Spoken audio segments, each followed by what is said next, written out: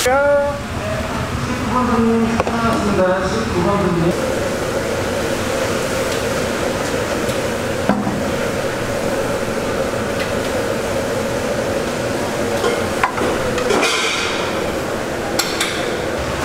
한국서 나왔습니다. 홍수, 홍수, 왜 이렇게 노래 좀 진하게 타죠, 홍수?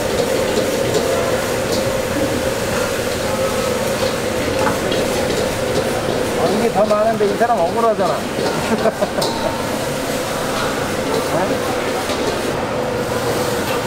짜장 하나. 짜장 양가에 하나 더. 네, 감사합니다.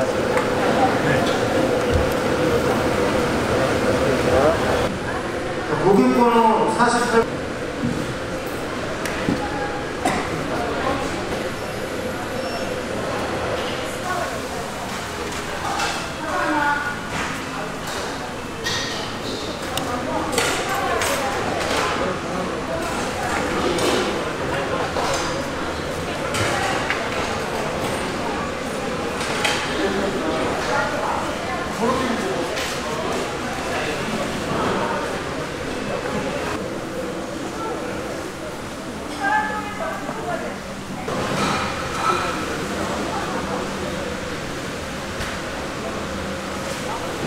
처음에 오시는 분들이 너무 궁금해 하시는 게 많은데요. 짜장면을 드시면은 저 무한 리필이 되는 거고요. 4,000원에. 그리고 짬뽕을 드시고 난 후에 짜장면이 무한 리필이 되고요. 모든 식사는 다 무한 리필이 돼요.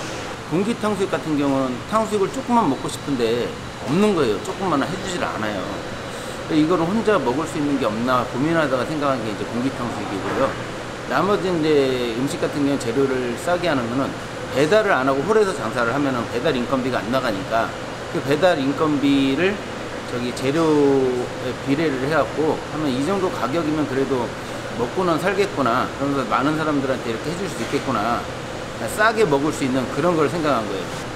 그러니까 그렇게 싸게 해서 제가 가서 먹었던 기억도 있기 때문에 그런 걸 되게 좋아했거든요. 학생들이. 그래서 싸니까. 그래서 이제 여기도 아, 그거에 약간 접목을 시켜야 되겠다는 생각을 한 거죠. 어렸을 때 경험 때문에.